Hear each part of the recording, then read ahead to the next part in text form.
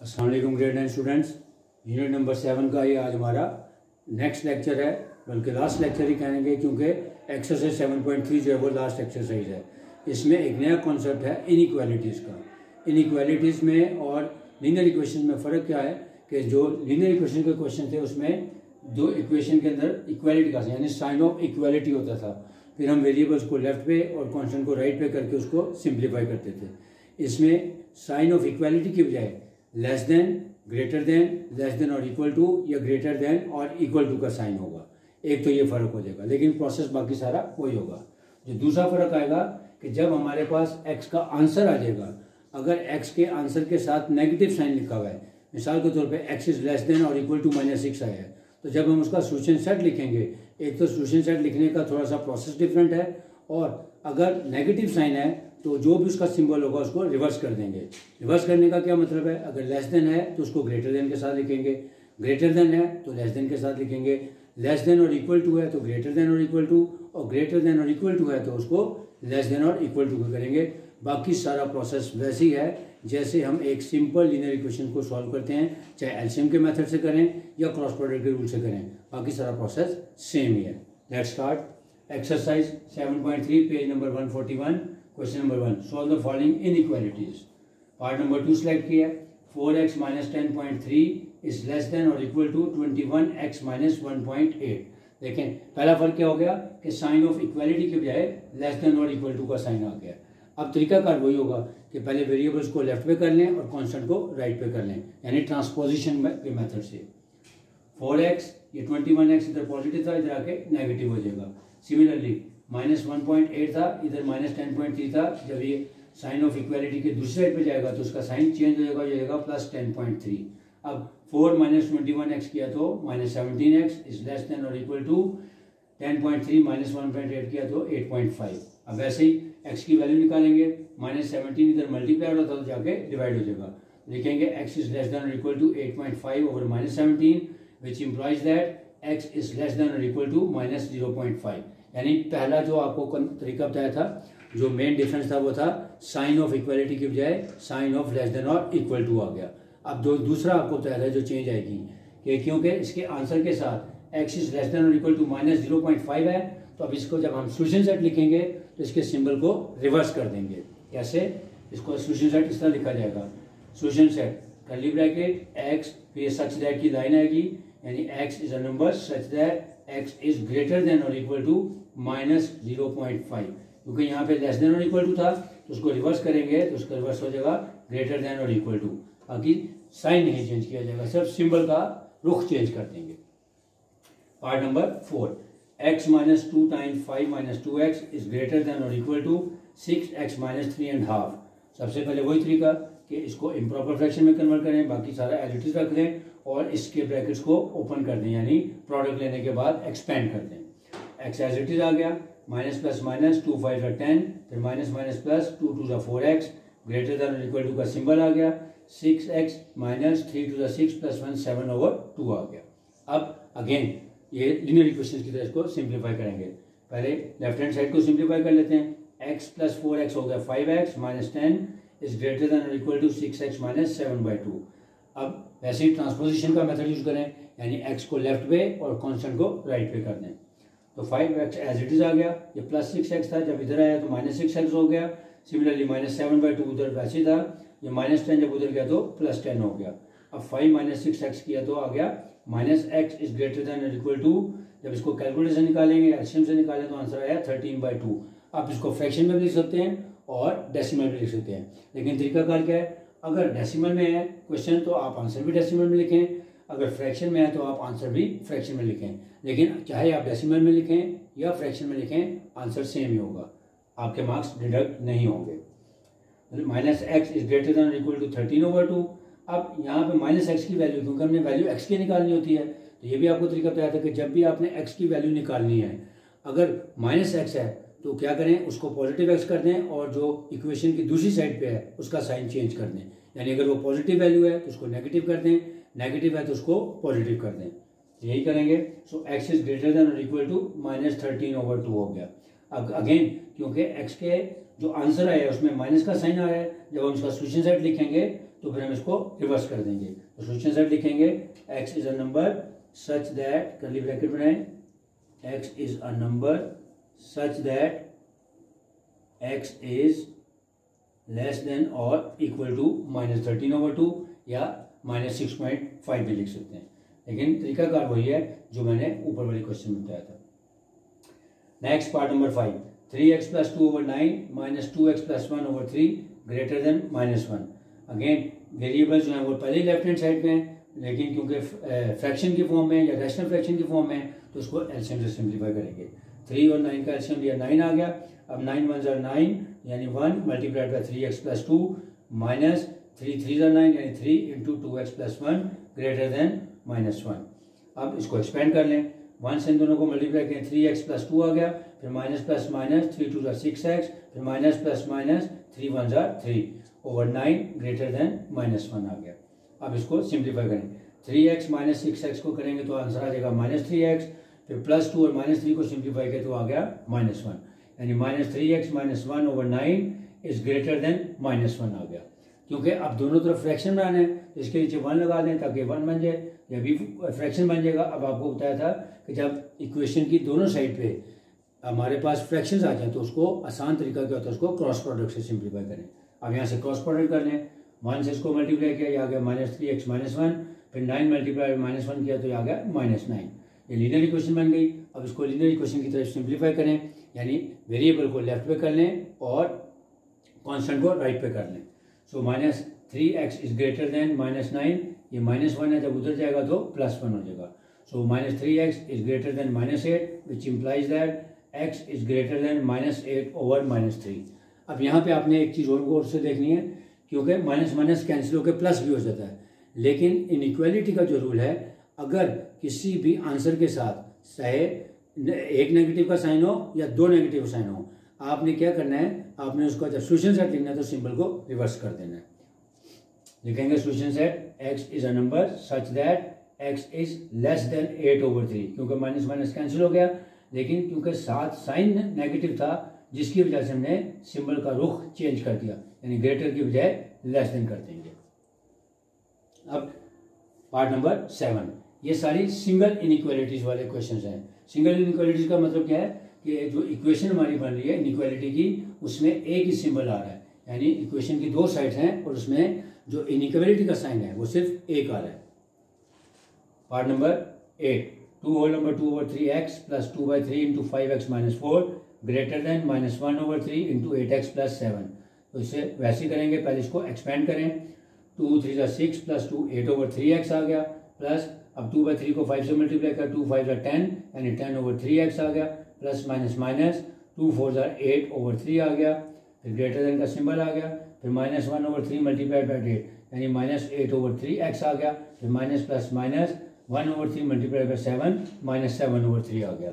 आप इसको कैलकुलेटर से भी निकाल सकते हैं, लेकिन आसान तरीका क्या होता है कि जब हम प्रोडक्ट लेते हैं तो न्यूमिनेटर को न्यूमिनेटर से मल्टीप्लाई करते हैं और डिनोमिनेटर को डिनोमिनेटर से। अब इसके बाद हम यहाँ से इसको क्या करेंगे कि जितनी भी वेरिएबल्स हैं, उन सबको लेफ़्ट साइड पे कर लेते हैं और कांस्टेंट को राइट साइड पे कर लेते हैं, जो तरीका आपको सिखाया है। तो eight by three x as it is आ गया plus ten over three x as it आ गया। अब ये minus eight over three x था, ये इक्वेशन की दूसरी साइड पे था, इसको ट्रांसपोर्ट करके इधर ले गए। तो ये माइनस था, यहाँ आ गया plus eight over three x हो गया। ग्रेटर देन का सिंबल आ गया माइनस सेवन ओवर थ्री पहले उधर था, ये माइनस एट ओवर थ्री जब उधर गया तो ये प्लस एट ओवर थ्री हो गया। अब वैसे जो तरीका क्या था, क्योंकि अल्जर्बिक एक्सप्रेशन है तो लेफ़्ट हैंड साइड का रहता एल्सियम लें राइट हैंड साइड का रहता एल्सियम लें और दोनों को कॉमन फ्रैक्शन में कन्वर्ट करें या रैशनल फ्रैक्शन बनाएँ और फिर क्रॉस प्रोडक्ट करेंगे। तो तीनों का डिनोमिनेटर सेम था, लिहाजा जब डिनोमिनेटर सेम हो तो एल्सियम लेने की ज़रूरत नहीं होती, उसको एक दफ़ा लिखा जाता है।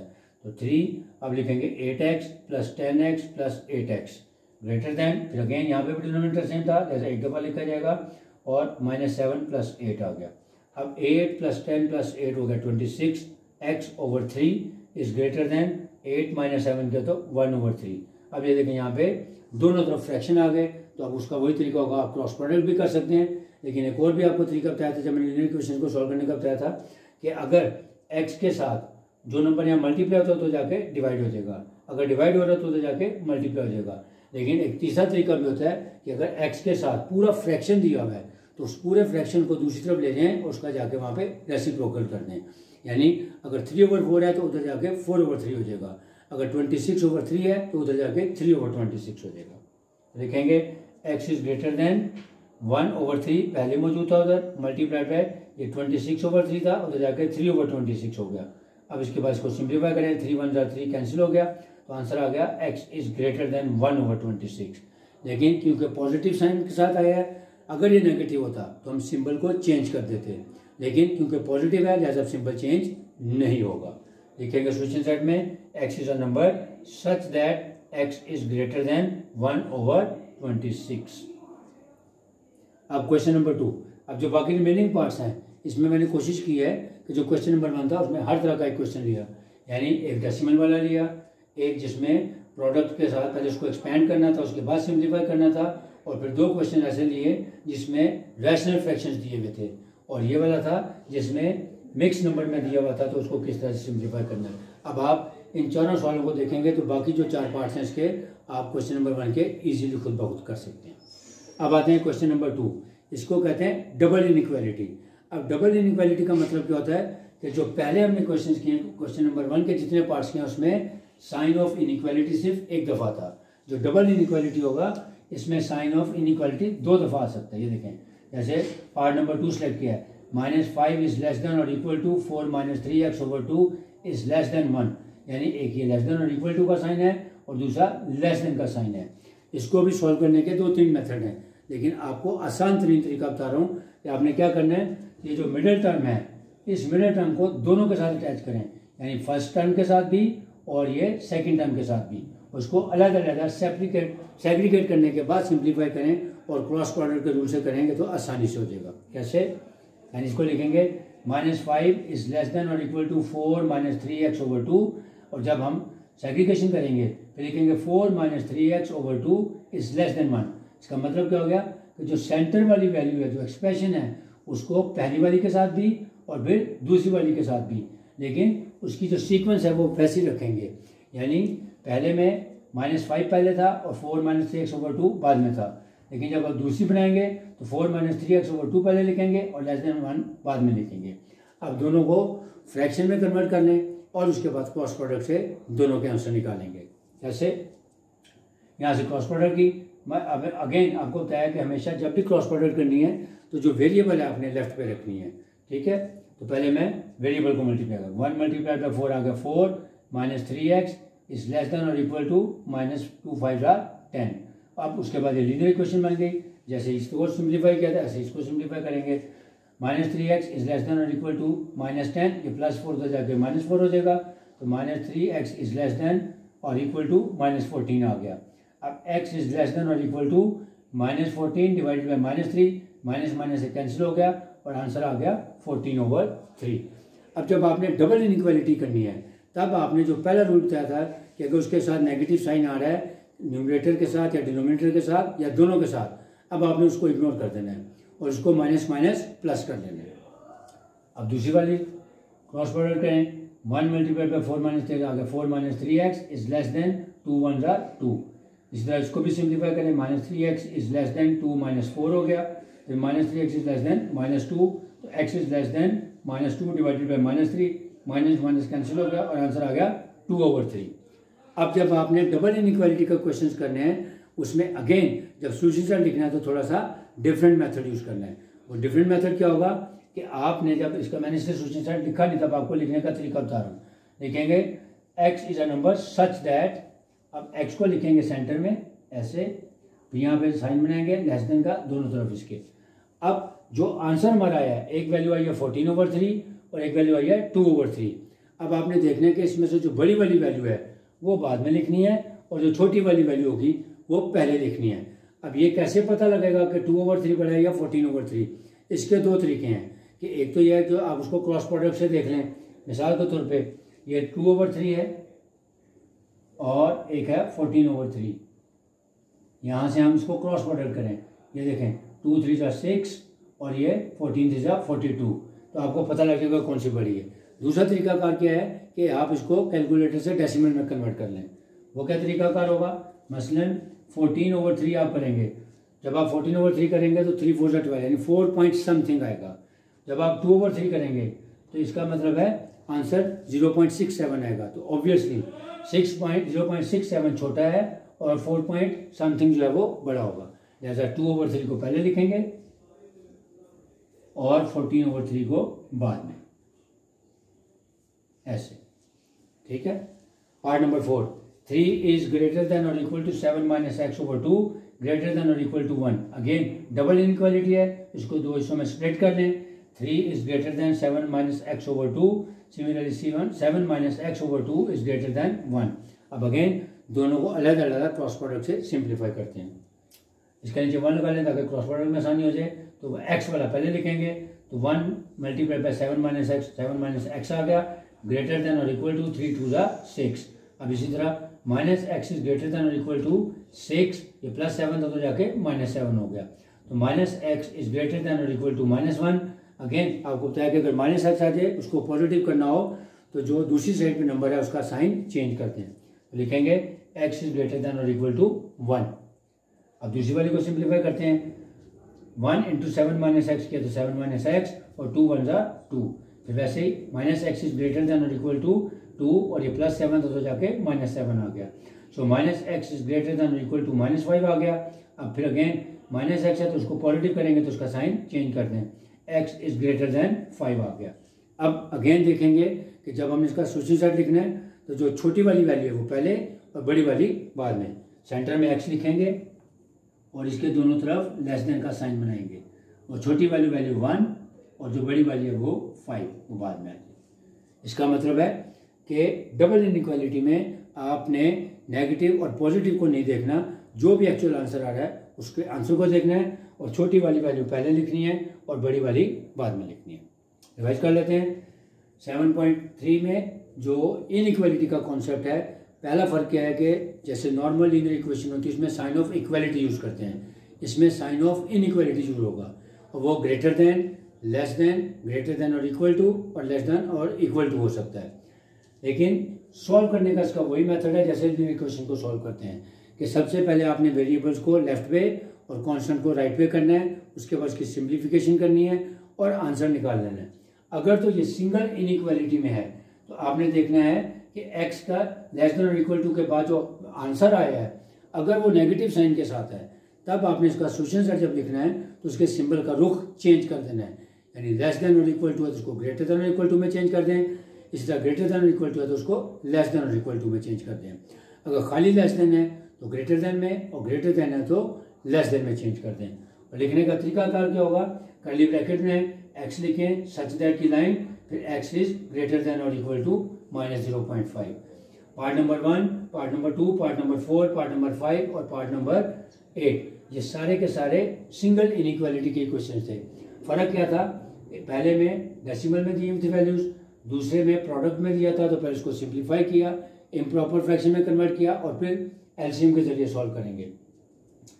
अब जो डबल इनक्वालिटी का क्वेश्चन है, उसमें दो सिंबल यूज़ होंगे इनक्वालिटी के। जो सेंटर वाली एक्सप्रेशन होगी, उसको आपने दोनों के साथ अटैच करना है, यानी पहले के साथ भी और दूसरे के साथ भी। और फिर क्रॉस प्रोडक्ट के ज़रिए या लीनियर इक्वेशन के मेथड के सॉल्व करने के तरीके से आपने दोनों के आंसर निकालने हैं और नेगेटिव और पॉजिटिव का फिर ध्यान नहीं रखना।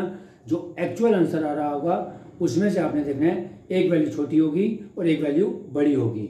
जब आपने उसका सोल्यूशन सेट लिखना है सेंटर में आपने एक्स को लिखना है, उसके दाएँ बाएँ दोनों तरफ़ लेस देन का साइन लगाना है और बड़ी वैल्यू जो है वो राइट साइड पे और छोटी वैल्यू जो है वो लेफ़्ट साइड पे लिखनी है। इसी तरह पार्ट नंबर फोर करवाया उम्मीद है अगर आप ये वीडियो लेक्चर को अच्छे तरीके से देखेंगे, अब जो इस एक्सरसाइज के रिमेनिंग पार्ट्स हैं, वो इन कॉन्सेप्ट को सामने रखते हुए करेंगे तो इन सारे सवाल आसानी से हल हो जाएँगे। उम्मीद आपको समझ आ गया होगा। इन अब नेक्स्ट लेक्चर में चैप्टर नंबर एट्स के लिए एट के साथ आपके खिदमत में दोबारा हाजिर होंगे तब तक के लिए अल्लाह हाफिज़।